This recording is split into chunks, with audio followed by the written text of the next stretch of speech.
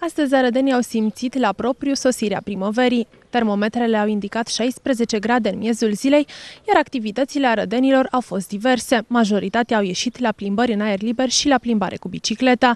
Cu toții așteptăm, desigur, ca natura să reînvie odată la viață. Bulevardele au fost pline astăzi, iar bicicliștii mai mulți ca niciodată anul acesta. Încă din prima parte a zilei, faleza Mureșului a fost parcursă de cei care au vrut să profite de ultraviolete. Foarte bine, mulțumim, da.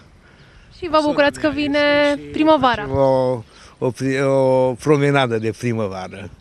Vă bucurați că vine primăvara. Să sperăm că vine. Spune-mi, te rog, cum te simți astăzi în această zi frumoasă?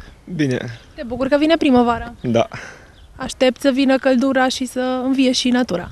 normal. Ați ieșit la plimbare cu bicicleta? Da, Vă așteptați să sosească primăvara?